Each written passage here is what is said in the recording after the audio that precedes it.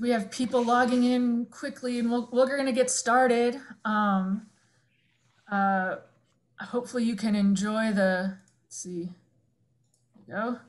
Uh, some of the artwork in the, the book that uh, we're going to be talking about tonight. So we'll, we'll scroll through some of these, the illustrations and sketches uh, as we get started. So. Looks like we're starting to to level off. So I'll, I'll, go ahead and get started. Hopefully we'll maybe get one or two more people, but we have a lot of, of people, uh, a lot to get to tonight, so I don't want to wait too long. Uh, so good evening. Uh, my name is Esther Peters. I'm the Associate Director for the Center for East European and Russian Eurasian Studies at the University of Chicago. And I'm excited to welcome everyone to tonight's CEERES of Voices with Peter Sís. Uh, we are also excited to welcome Lisa Pick, Charlie Pick, and Karen Wal Pick-Wald as uh, special guests this evening. Uh, this event is part of our author-centered series of readings and conversations on books from or about Central and Eastern Europe, Russia, Central Asia, and the Caucasus. Our long-term partner for this series is the Seminary Co-op Bookstores, the first not-for-profit bookstores whose mission is bookselling and although their stores remain closed to the public, they are fulfilling orders and supporting book sales for virtual events like this one through their website, semcoop.com. Uh, when you place your order, you can choose from shipping, delivery to local area codes, or curbside pickup. This evening's event is also co-sponsored by the Joyce Z. and Jacob Greenberg Center for Jewish Studies at the University of Chicago. Uh, it's an interdivisional center here at the university. I would also like uh, to thank the Council, the Consulate General of the Czech Republic in Chicago for their help in organizing this event and for their continued support uh, for Czech language studies at the University of Chicago. And finally, uh, special thanks to Otto and Ray Chapek for supporting Czech cultural events at the University of Chicago.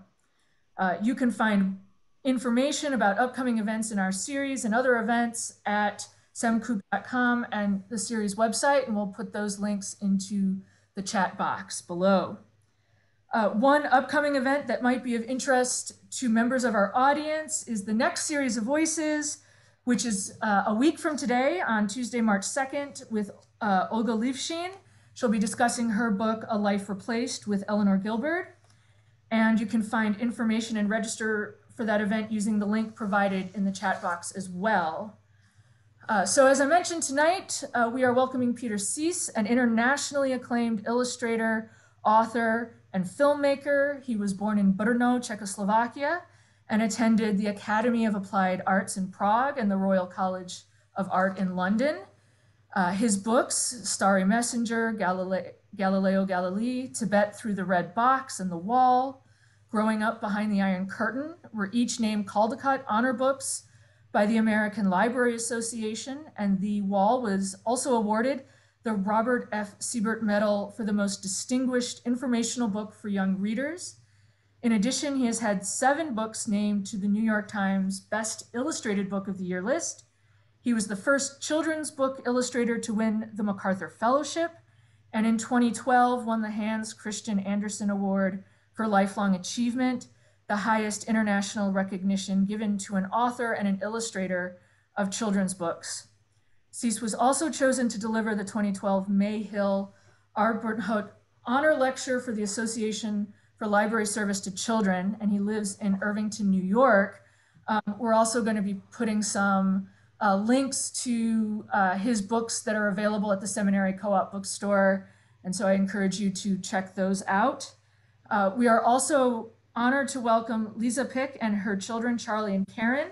Lisa is one of the 669 children transported from Czechoslovakia to London by Sir Nicholas Winton. Uh, she lives in San Rafael, California, and is a retired librarian. She spent over 40 years living and working in the Northeast while raising her family with her late husband, George. They retired to Sonoma, California. Uh, Lisa and George enjoyed over 50 years of marriage with close family, friends, music, and travel. Charlie Pick lives in nearby San Rafael, California, and is an architect. His firm, Basis Architecture, addresses affordable housing issues across the USA, and he lives with his wife and has a son. Karen uh, Wald lives in Minneapolis, Minnesota, and visits San Rafael frequently. She is a speech language pathologist, and she lives with her husband and has two grown children. A couple last notes before we get started. We do have up to 10 copies of Nicky and Vera to give away to interested parties. Please uh, introduce yourself in the chat and let us know if you're interested in being considered for one of those copies. Uh, I should also note that I have confirmed with the bookstore that we were able to procure 10 signed copies. So they, they are also signed by Peter. So, um, uh, which is just an, an added benefit. Um, so there will be time for questions at the end of our event. So please, if you have a question, put it in the Q&A box that should be open right now. Um, and at any point, I have a feeling we're gonna have way more questions than we will have time to answer. Uh, and so I will do my best to incorporate those questions when I can, if at all possible. Uh, you also will be able to uh, like a question. So if you see a question that looks really interesting, go ahead and like it, and that'll help us know what questions have the most interest from our audience. Uh, so with that, um, I'm going to go ahead and, and stop sharing for the moment. We'll, we'll try and come back to some of these, uh, this beautiful artwork if, if we can, if time allows. Um, but I'm going to stop for the moment and go ahead and try and uh, uh, bring Peter into this now. Um, so uh, that was a lot of talking. So I do want to turn this over as quickly as possible to you. Um, I, have perhaps given a little bit of uh, details about the book, but I don't know if you want to give a, a, little bit more of a summary about who Nicholas Winton was and, and Vera Gissing and how you, you chose them uh, and how you came to, to write this Nicky and Vera Okay, so very nice to be in Chicago with you. It's amazing that I'm sitting here in on Hudson and I'm with you in Chicago. And this is uh, where I think one of the first um, ideas for the book came from because I was in Chicago as artist in residence in 2007 and the consul general Marek Skolil, who was in Chicago, gave me a book about Nicholas Winton I already knew this story from the newspaper, but he said, you should do a book about uh, this amazing man. And I thought the book was so good. The story was so good. Nicholas Winton was so good that it was very hard to think how would I do the book about somebody who did something wonderful, but then he was quiet about it for 50 years. And so I didn't know how to go about it until I found by sheer coincidence the book by Vera Gissing, who was one of the children called The Pearls of Childhood. And she was describing her childhood in the small town outside of Prague and how she got, because of her mother, sign up for this trip to England when she thought she's just going for a few weeks or a month. Uh, surely she will see her parents again, but she never did. She was with the family in England, which was nice to her. And then she goes through um, the moment when she goes back home, it's nobody back there. And then she proceeds with her life, um, getting married, having children. But really, the main inspiration was her childhood and how she didn't know anything about uh, the danger coming from Germany, how she was living in the free democratic country, not really very much aware about her Jewish heritage because it wasn't the issue where she lived. So I thought this is a sort of very interesting uh, story to go with Nicholas Vinton's story because Nicholas Vinton for me was a hero, but until I really spoke to my son about what does it mean to be a hero in life, if it's a sports hero, if it's science hero, if it's anybody, uh, what what does it take? And he he was 29 year old young man who traveled to Prague, had no reason to get involved with what he did get involved with, and because he he could see that he can help. He did arrange for these trains, which took 600, 669 children uh, to, to, to England. And, and then he, for whatever reason, didn't speak about it for uh, next 50 years. And uh, then his wife, or that's part of the story, finds the um, uh, book. He, he kept like all the receipts and photographs in this uh, book in, in, in, in the attic, uh, I think, which was given to him by the people who participated on, on the whole uh, rescue. And, and uh, the, I think the book, he, he, says, his wife says like, I found these old photographs, what should I do with it? In, in his book uh, of, by his daughter, he, they say, no, you can throw it out. The wife says, no, you can't throw it out these are the pictures of the children. And she takes it to the researcher in, in Daily Mirror, who then they try to contact all these children as much as they can from the old phone numbers and, and they arrange for the uh, television performance with very popular show. And, and the, I think Nicholas Winton is invited on, under the false pretenses because he thinks it's going to be about something else. He sits in the audience he, he sees somebody who he knows and he says, come sit next to me. And yet these two ladies are trying to sit next to him. He doesn't know why he's little supposedly annoyed by that. And then the announcer, Esther Rantzen, uh, reads his whole story. And then she says, if there's anybody in this room who has some connection to the, to, to the uh, trains from Prague, and all of a sudden these people around him stand up and he's visibly touched. It's like one of the best moments on television, probably, because he's a reserved man and he's like this little tear coming out and he's looking and he can't believe this is true. And, and so this was the most amazing moment when my story sort of ends there because these children who are now grown up people come to him and they all have like a little child inside of them because the whole life happened in between. And then I have a tree with lots of hearts and and and you see the shores of Europe with more refugees coming in because that's the that's the situation now. When one of the um, children from this train is Lord uh, Alfred Dubs, who's who's actually working very hard to to get this uh, law or situation that the children refugees would be let in into England. So he's continuing this legacy and, and so that's the story of my book. And uh, I would say that what was amazing also to do the research was to find out that all the children we know about um, as Miss Pick would be working in some, some sort of trying to help other people to do to, to do wonderful things which i thought it's not just the people who were famous film directors or poets or scientists but all of them are trying to make sense of, of, of humanity really which is wonderful well, that uh, kind of brings me to another question I had uh, when, you know, tied to uh, one, writing a, a, book that involves uh, real people and real historical events and the challenge of that, um, but specifically dealing with an event like this, uh, with something that that has, with such a kind of traumatic historical period when you're talking about World War II and the Holocaust um, and and what those what were the challenges uh, for you in terms of of how what to include in a book for children? Uh, did that present any particular challenges? Certainly, you've you've written about other historical figures. You've written about Galileo. You've written about your own life. Did this book pre pre uh, present unique challenges uh, because of of that?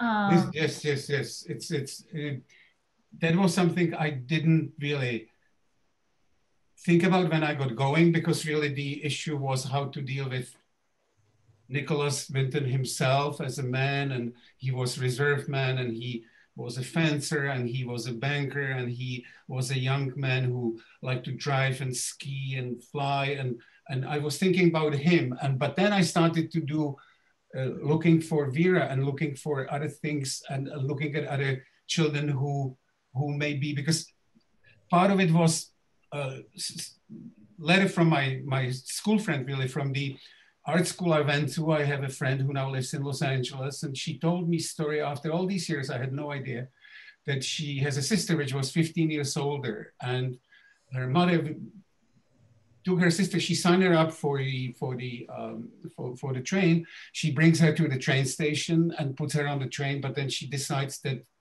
no way she can leave her on the train. That it's just she, it can't be done. And she takes her out again, and um, and they both go home, and then they both end up in Terezin. And and in Theresienstadt uh, concentration camp. And as my friend said, luckily they both survived. Another lucky girl got the place on the train, probably. So that girl survived, my sister survived, but both learned about how awful the war is in a different way. And that was the research which I started to do and read lots of books about the not just girls from, from Prague, but the, the little Dutch girls like Anne Frank and people who uh, were not so so lucky. And then it opened this whole question of, of the incredible, um, incredible uh, darkness and, and cruelty, which, and all of a sudden I always took Prague. I grew up in Prague. So in my previous books, I look at the cobblestones in Prague and think about how history took place in, in 17th century or 19th century. But all of a sudden, this was so close to my life. And I realized I knew lots of people who were, grew up in England or were born in England, but also were probably on these trains. But as a young uh, boy growing Prague, uh, Prague, people didn't really speak about it. So it was this whole issue how to deal with things I might have been uh, touched touching but really didn't know and and discovering this whole part of history which also went to the moment when the war is over and people are coming back home, but then all of a sudden the attitudes seem to be much more, um, no, not as the idealism of the First Republic before the war because of the whole history of Second World War, and then immediately comes the communist takeover and it gets all sort of um, mixed up in, in some awful way when, when this doesn't get proper sort of uh, reception at, at, in, in, in Prague. I, I, remember that we grew up in schools showing pictures from the concentration camps, but we were always told these are the communists, how they were treated by the Germans. I mean, the whole, uh, let's say, Jewish question was pushed into the background completely. So for me, it was sort of um, discovery also, because each book I did in my life, I was dealing with that with that part of, of, of history. Uh, I would always discover other things than they are in, in historical books, like with Galileo, like with Charles Darwin. Uh, the only thing I could talk about was uh, related to doing a book about the time behind the Iron Curtain and communism, which was interesting because I immediately came the criticism of now you are serving to your um, masters in America, something that was just absolutely like from the Russian propaganda textbook. And here, um, I already got some criticism for this book because there is an ongoing discussion that uh, Nicholas Vinton couldn't be alone, that he had a whole group of people who help him and they should get a more, uh, more of the, but I, I have a only format of the children's book, so I can't really, and he lived so long and he was, I think, essential person for it. So I now openly talk about that I should have maybe given him bigger space. I have a picture how they sit in Cafe Slavia all together and they are plotting. As well as I, I admit that uh, Nicholas Vinton, when he comes to Prague, he goes to hotel where he sort of sets up his office. That hotel was called Šroubek. I put in Hotel Europa because now it's called Hotel Europa. So I found out, but it takes me so long to draw a picture that it was like I thought I better talk about it and say, look, I made a mistake. It's not called Hotel Europa. It was called Hotel Šroubek, but please don't make me redo it. well, that's um, um, I, at least in this moment, I, I, can I can understand that that decision to not redraw the picture. Maybe I will. um, I I do just to speak to that. Uh, one of the things I, I found particularly interesting about how you tell this story in the book is the ways in which you you intertwine the story of Nicholas Winton and Vera Gissing, which you know we we learn about Nicholas's childhood and then we learn about Vera's childhood, and it it really keeps them, um, for me at least, on an equal footing. Uh, and and it really rather than having like one big hero and one person that needs to be saved it really makes it easier to see the world through both of their eyes and to connect with them. I don't know. Um, so I, I guess I was wondering if that was done on, if that was on purpose or, uh, you know, who are, you know, I, you know, that, that as a child or an adult reading it, you can see, you can think through what would you do if you were in Nicholas Winton's shoes, but also how would you feel if you were in Vera's shoes? Because you can see Nicholas growing up and, and liking pigeons, and Vera, when she's growing up, she's the queen of the cats and she loves cats. And so they, you know, and, and you, you watch that, that trajectory and related to that is, is, um, you know, what, what do you hope people get out of this book as they're reading it, either children or adults as, as they're reading it? Well, I think that to answer your uh, the first part of the question was that once I had the idea that Vera would be Vera would be his sort of I would I would look at his life, which was uh, of course started to happen 20 years before hers. But I thought I would start I would show that child's life seems to be always the same. I start each book if it's Galileo, if it's if it's uh, Darwin, if it's uh, Saint-Exupéry with a little baby, because it's a baby which is born into uh, circumstances. But I didn't know, I think in the first version, and I think it was maybe the editor, Simon Boughton, because he's from England, so he was like immediately responding to idea of doing book about Nicholas Winton because it's also incredibly brave part of history of England when the United Kingdom was the only uh, country which was receiving refugees under 17 years and, and giving them sort of asylum. So I, I knew that would be these two stories, but in the beginning I was intrigued by the fact that they almost, at one time they were, they had like equal stories. They both had wife, two children or three children.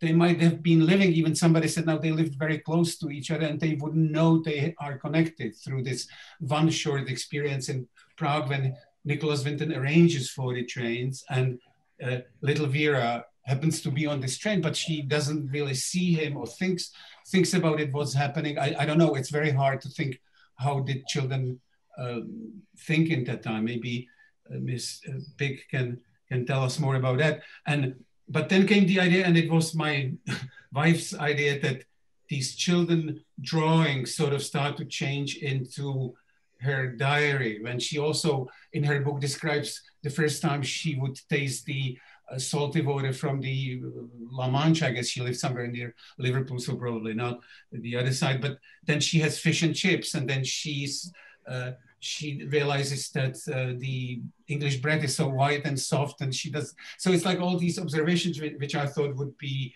part of this extensive diary.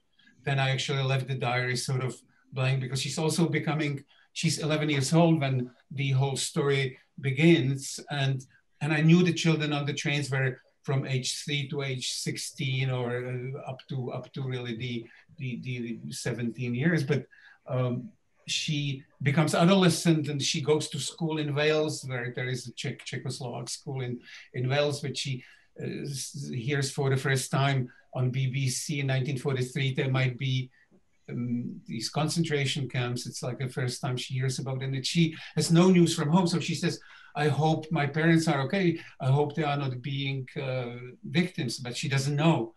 So this was the idea to sort of um, balance both stories. While I left Nicholas more quiet because he lives outside, he takes care of his garden. I put in little uh, boxes what was happening because he was working for uh, the retirement homes. Uh, he was working for hospitals for uh, children with with um, difficulties because he had one child, which was also amazing because in that time everybody would put a child into institution, but he refused and would take care of the child with his wife.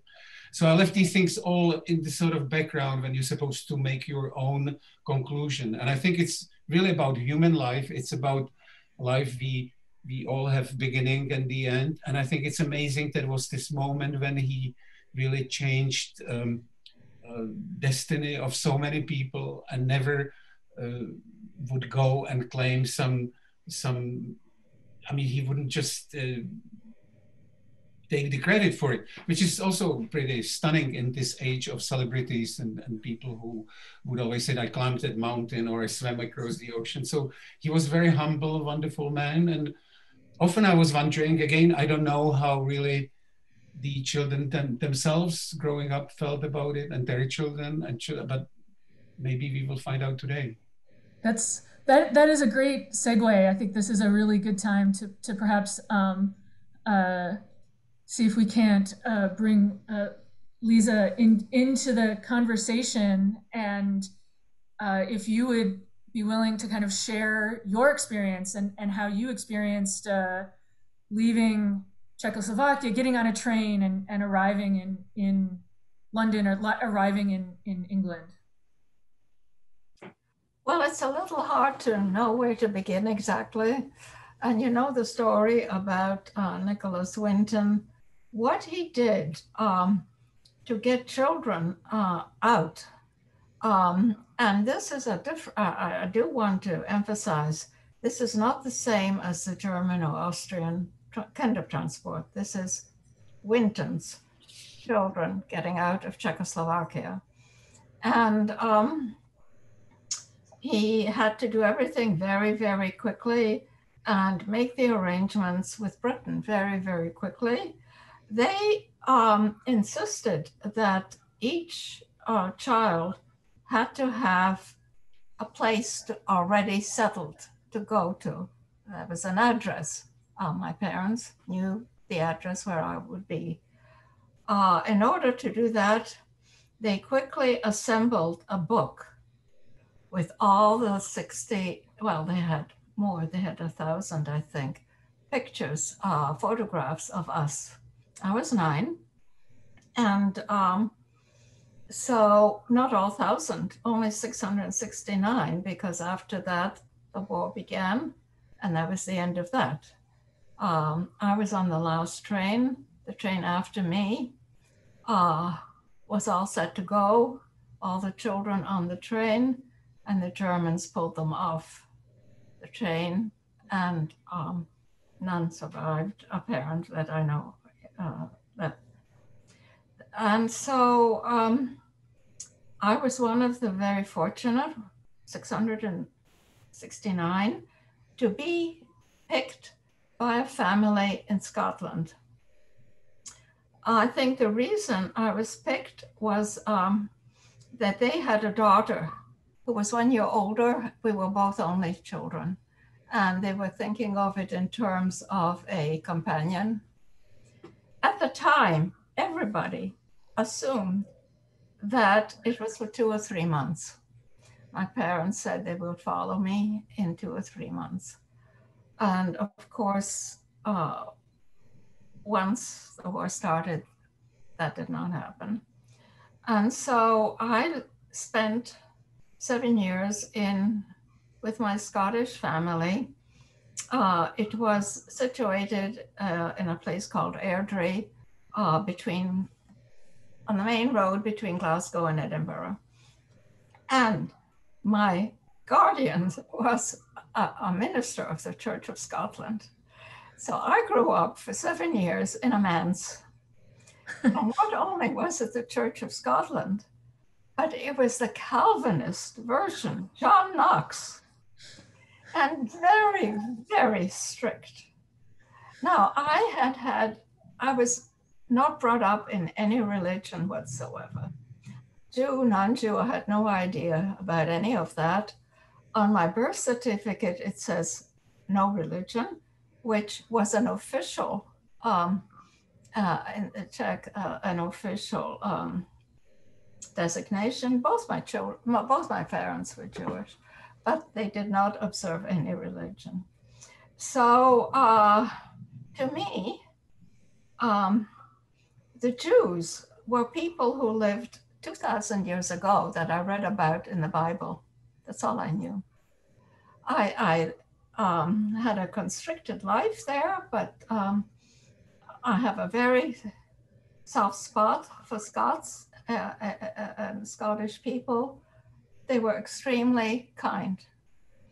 And at school, they were kind. And uh, it's just I wasn't allowed um, to do things that um, other children my age were able to do. So um, it was a bit lonely, but there were two of us. Um, my foster sister and I became closer as we got older. And uh, so uh, the year, the reason I wasn't there for six years, I was there for seven years. Uh, my parents spent four years in Terezin, but they survived. And they were desperately trying to leave uh, Czechoslovakia. And so they thought, well, if I could just stay a little bit longer in England, it would be easier for them. The Iron Curtain had come down. The government was, it was before the coup, uh, but it was very, very communist already. And it was, um, it was really almost impossible to get out. So finally, I did go back.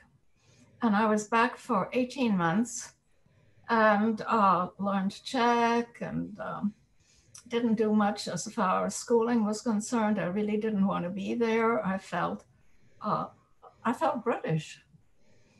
And so anyway, but uh, the reason I finally found out that I was a Jew was because when we saw, when we heard about the camps, I finally put two and two together.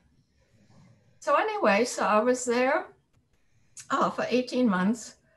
And uh, finally, documents about this high, uh, we were able to leave uh, because we had a sponsor in Montreal, Canada.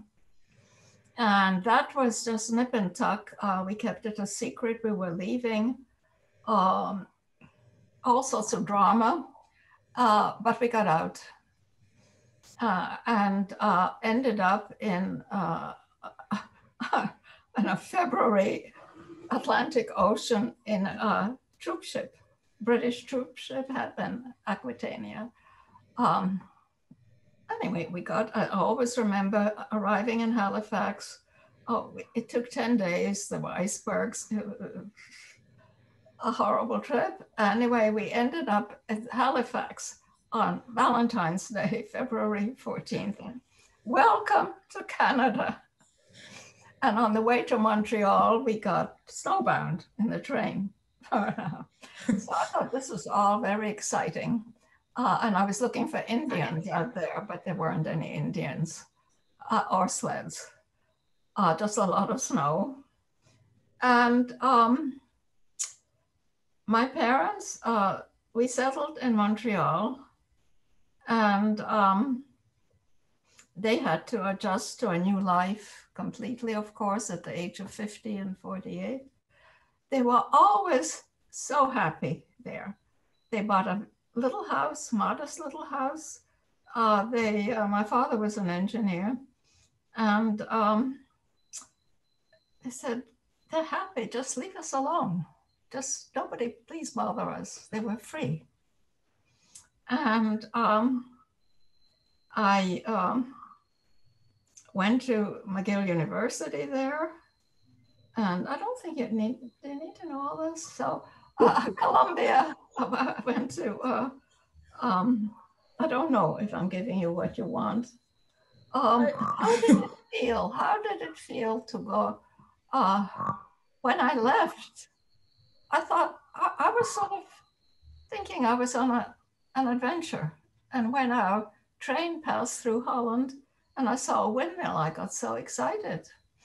And the only bad part was uh, we arrived in London, uh, which I now know is Liverpool Station.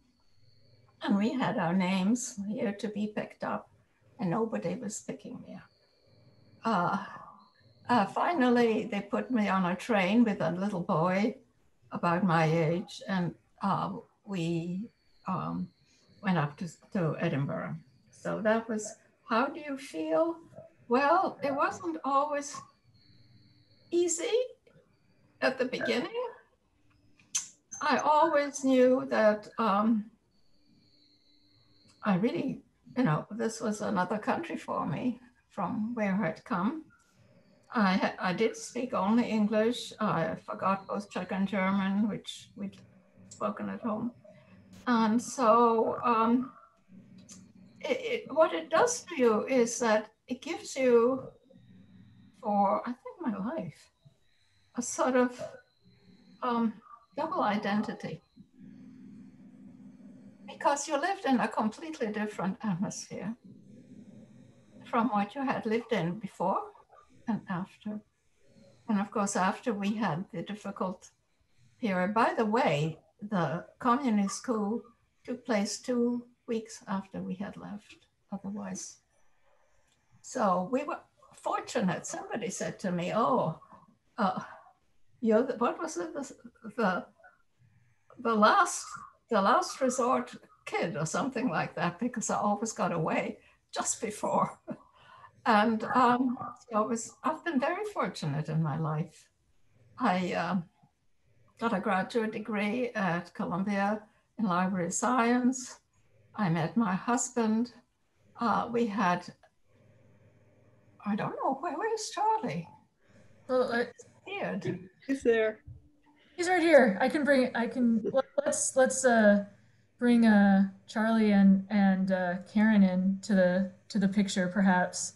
Um, so I think we all had a happy family. I hope they think so. Yeah, we don't need to have that out here. No, it was all good.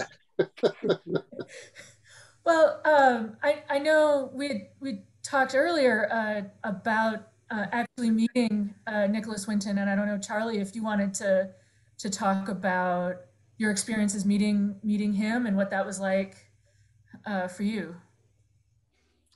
Well, I've always been deeply fascinated by the history of our family, and I think I really, you know, worked on this idea of connecting with um, our family history. Uh, I'm I'm a history buff, you know, uh, just as a hobby. Um, so maybe that feeds into it. But um, as soon as I could, um, I started, you know, I always wanted to go back to Prague and see what it was like. And actually made it back in 1989, you know, just before the events of late 89 that we all know about. Um, and then I went to Prague uh, every year, uh, even considered moving over there. I was very very attached to this idea of our Czech heritage. And um, later on, uh, I just got it in my head that I really, really wanted to uh, meet uh, Sir Nicholas and spend some time with him. And uh, it happened. It happened much later. Um, my kid was, I guess, uh, 12, and uh, we were taking a European trip we had gone to Croatia and whatnot. And I, but I had gotten in contact a couple years earlier with Barbara Winton, and we corresponded frequently. I had met her in San Diego, and we attended an event together, etc. Um, and it was rather simple for her to, uh, you know, just tell her dad that we were going to stop by one afternoon.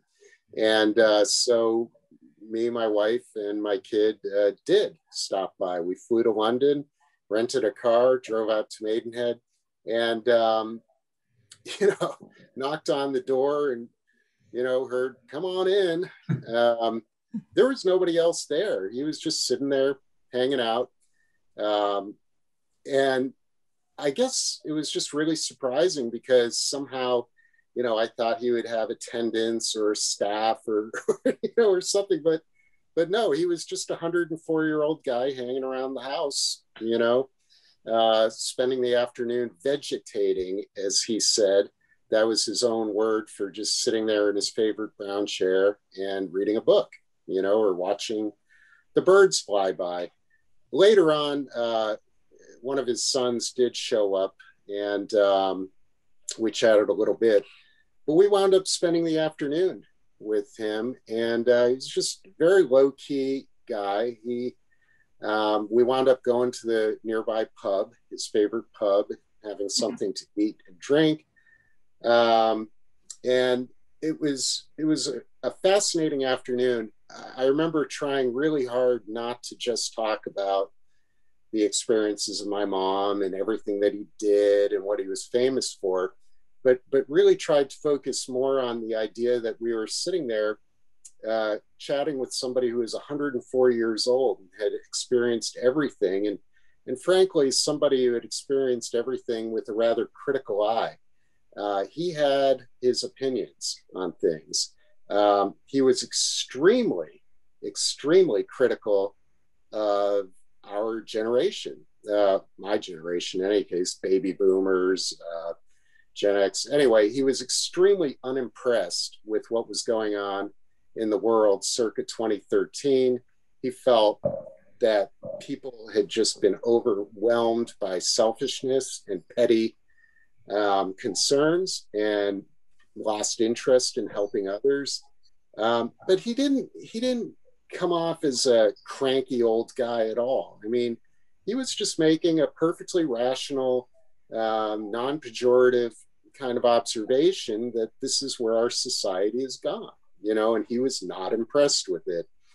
Um, so it was really fascinating. And um, he did essentially challenge all of us to do something good with ourselves, um, not by saying it, but just sitting there in the room with him and you realize what he did and for how many people. And and i came away from that all three of us came away from that you know just really feeling like wow we were given this gift. I mean this guy is essentially like my third parent. And um, you know you walk into the room and meet him and shake his hand and realize that you know if it wasn't for this individual I simply wouldn't exist, you know, and neither would my son. So that's that's a weird feeling, and it never occurred to me until the moment we walked into that room. Um, so I had to come away from that feeling challenged to do something useful, you know, and I it actually led me down a path for the next few years. I tried to get involved with organizations that were helping refugees and some political um, organization that I was trying to do. But frankly, that wasn't really in my skill set. So I decided to simply just do more uh, than ever at what I know how to do, and that's um, help create and preserve affordable housing.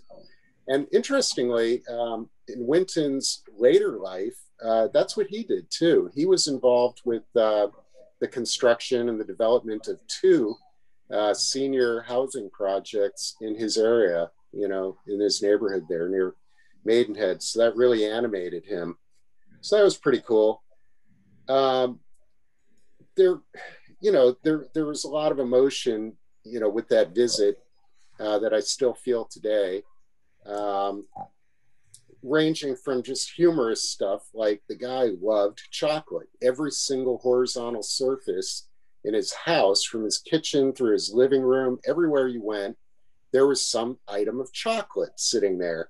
And his his attitude was like, "Hey, you know, I'm 104. I like my chocolate, and that's the way it is. I'm gonna eat my chocolate. You know, okay, we're good with that." Absolutely reasonable. Chocolate. Yeah, we brought him some chocolate, some Ghirardelli chocolate from San Francisco. He was thrilled. That was that was a little bit later when I visited with my mom. So I'm jumping ahead. But a, a really funny anecdote was when we went to the pub and we sat down and they kind of treated him normally there, even though it was practically next door to his home. And and I just at, at one point I just asked him, I said, you know, you're a knight you are a sir. You're a knight. I mean, aren't they supposed to treat you somehow special in town here? You know, this is your place. And he, he's like, you know, I never thought of it, but you're right. I should have a taller glass of beer than you guys have. So, so we suggested that to the management on the way out that they take care of that detail from now on. Um, but when we left, hours later, um, I realized that there was absolutely no way that I could accept this state of circumstances where my mother had never met him.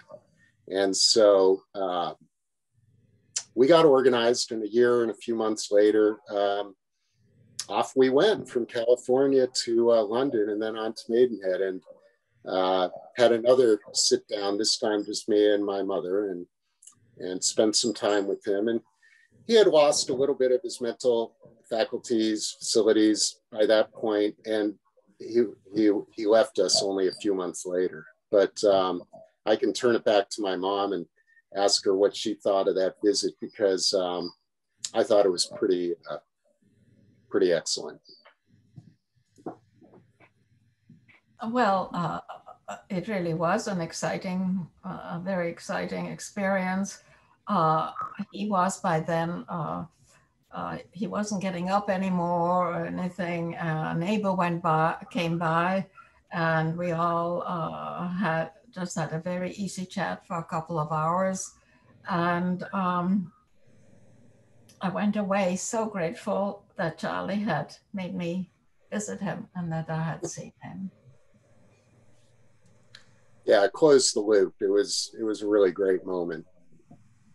It sounds it does it sounds like that. I, I know we're we're I want to get to some of these questions that are starting to come in and, and please keep the questions coming. Um, Karen, I wanted to give you a chance. You, you, you had said earlier about the kind of the ripple effects, and, and Peter had talked about this a little bit as well in his his comments. I didn't know if you wanted to to add on to that about sure. um, about that. Sure. I think you know one of the things that yeah, you can hear me. Um, one of the things I wanted to remark on from 669 children, there's now over 6,000 descendants um, from the 669 and and growing that ripple effect of my mother having had her life saved. Here we are two of us and we've between the two of us there's three more and you know so it goes. And i think that ripple effect is just something it's hard to overlook. It, it's it's quite profound. But another ripple effect is the fact that this foster sister uh, that my mother spent seven years in their family home in scotland nina um, had two children as well and um, as a family, we knew them uh, quite well. We spent summers uh, as adolescents together. Uh, we would go to Scotland, live there for the summer, and they came to us in New Jersey. Um, we've continued to be in touch with them.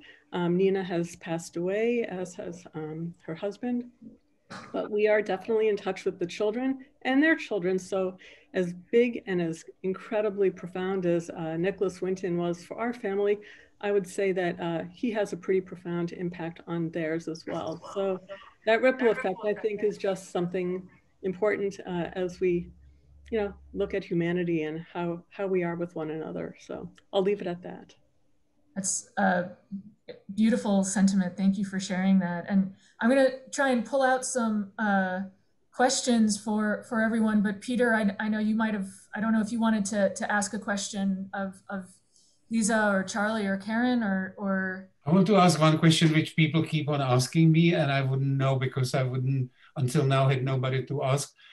In the time before he became he he sort of well, became famous for for doing this, were you thinking about who might have done it or was it because so much stuff happened during the war that this was never it was just the fact that there were trains going to England or, you know, people asking me if people were trying to find out who he was, but since they didn't know who he was, I don't think how would they be asking about that. I don't, I don't know. I was very isolated from all my background up in Scotland. There mm. was a Czech school the last few years uh, in Wales, and they may have known something else. But basically, I don't think anybody till 1988 knew who it was. Uh, and uh, my parents didn't talk about anything. And I never felt free to ask about anything, basically. And um, I, I think people just thought, um, oh, this was an organization that got children out. I don't know. It was a rather big unknown, mom, right? Mom, it was just a big unknown, really. Yes. Yeah. But also your story is so wonderful that it shows that if I didn't find a book of Vera Gissing, I could, you know, be doing maybe 669 different books when I would have a story of Nicholas Winton and show always the child which uh, life was was saved by him. So by, by, the way, Peter, just circling back on a question that you said you've been asked or, or challenged, even critiqued on, the organization uh, that he had was he was in Czech, as you know, he was in Prague at this hotel, and I think he had a couple of assistants, and um, they basically fabricated this organization. I mean, they didn't have anything; they just printed some letterhead that looked official and kind of pretended to have right. an organization. And then the London end of it, you know, of course, they had to have set up these foster homes essentially and have a target, like my mom said, they're a specific sponsor, place that family they were going to be going to. Um, that was his mother who did that. Um, and that was it. So that was their organization. It was well, all in the family. Few, there were a few yeah. more people. Yeah, she had some helpers, but, also, so, but yeah. So from Barbara's book, it's interesting that he accomplished the whole thing being on vacation as a stockbroker, really. Yeah. And then being back home, he goes to work every day. And then in the afternoons and in the evenings with his mother, he writes all these requests. And even he also writes to President Roosevelt and he writes to all different uh, governments if they could take more children and everybody's going through this. We have to put it through the Congress until like three months really left between his arrival to Prague and the beginning of the war when he um, gets these trains going, but but uh, he, he always he says in the book that he could have done more, of course, if he had more response around the world, which he, he was did. a 20, 28 year old stockbroker right, who went on right. a ski trip. 28 right. years old. He never made it skiing. No. no. no so I, I put it I put it in the book that I I like some people said, well, he knew, but the, by the time he was going to Prague, he's not going skiing because his friends had come to Prague. It's like important uh, stuff going on. But I still made him going with the skis, so I would show the the sudden sort of decision that he leaves the skis and he says, "I can deal with this. I can I can work through all this." So. And by the way, uh, that uh, when he came, I don't know how many months it took, a few months but March 15th, uh, the Germans invaded already. So uh, uh, that whole time between March and the end of July, the Germans were there. I, re- I remember the SS books. But so the, um, the Germans were also watching the trains leaving, probably, right? I mean, and that would be my next question. If like it must have been so hard that the parents, that the children when you went to the train, like I, nobody I would want to cry or be sad because you don't want to. I didn't feel it, but my mother ran the whole length of the platform. I remember as the train was going up. So what, what the parents must have felt. You you're a parent, you know. Yeah, it's yeah. it's in, in yeah. Well, if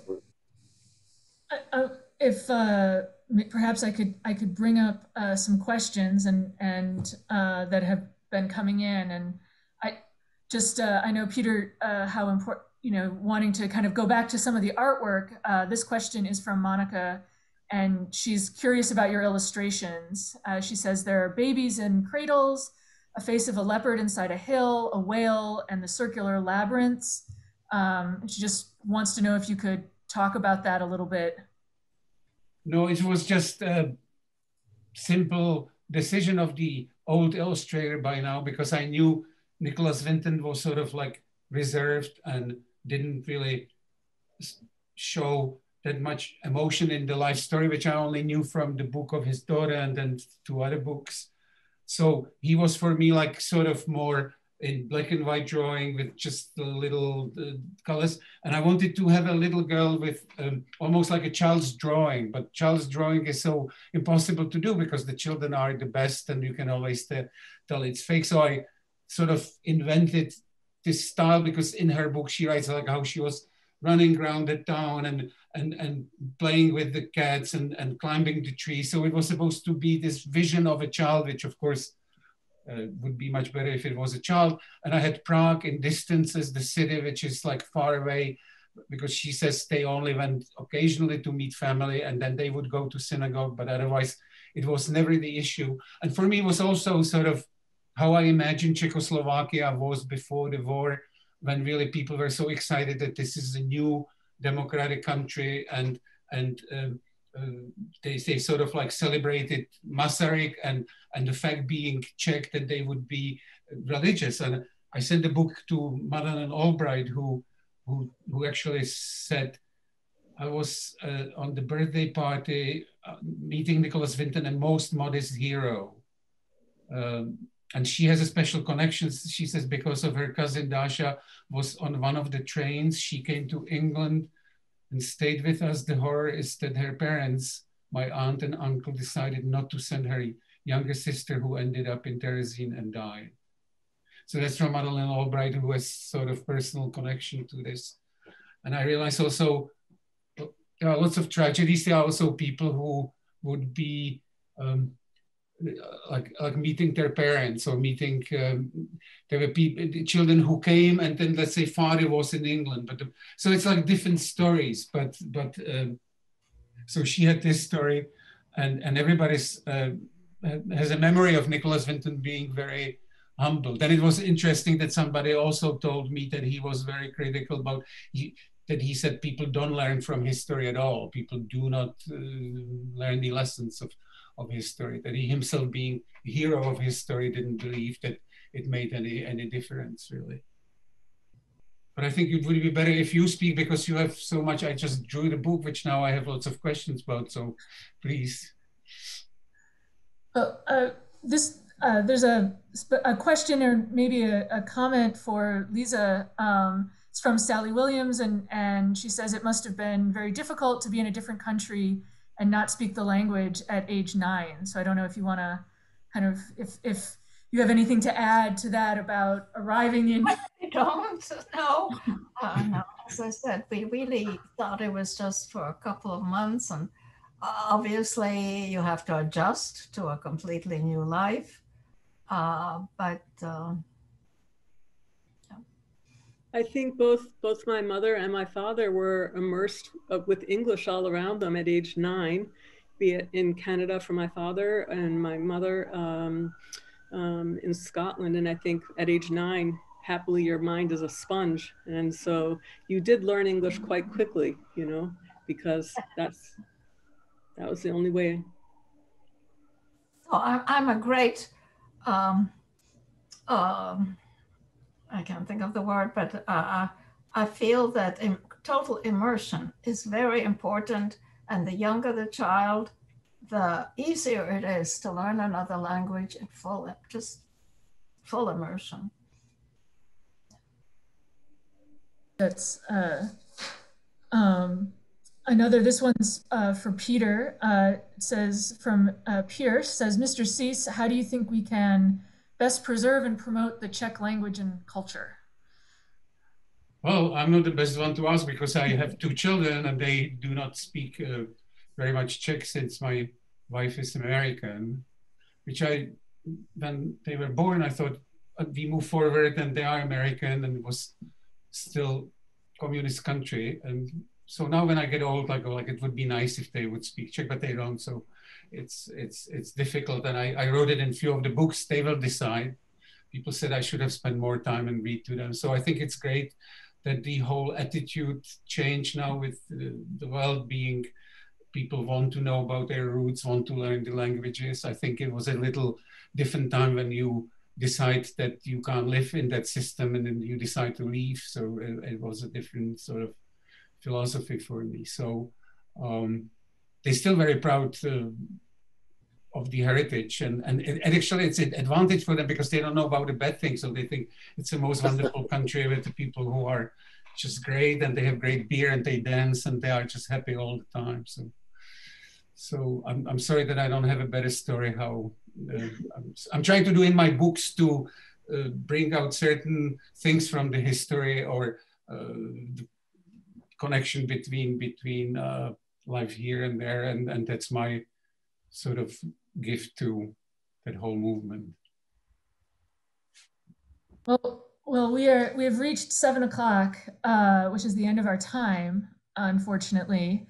Uh, so I want to, on behalf of all of our sponsors and everybody who helped organize this event, I want to thank Peter and Lisa and Charlie and Karen for coming and uh, sharing, Peter for sharing this wonderful book, Lisa for sharing uh, your story, and Charlie and Karen as well. Uh, it has been a wonderful evening. Um, if does, if any, I, I will turn it over if anybody has any last words they they want to to offer before we we sign off. But I do want to again just really thank you for for just a lovely evening. Well, thank you, Esther, also. Thank you very much. Thank yes. you very much. So, uh, so yes, thank you to everyone who uh, joined us um, this evening. It was great to see so many, well, virtually see uh, so many people be able to join us. It was uh, lovely, and um, I hope some of you will join us next week as well. So, have a good night. Thank you so you. much. Thank you very much.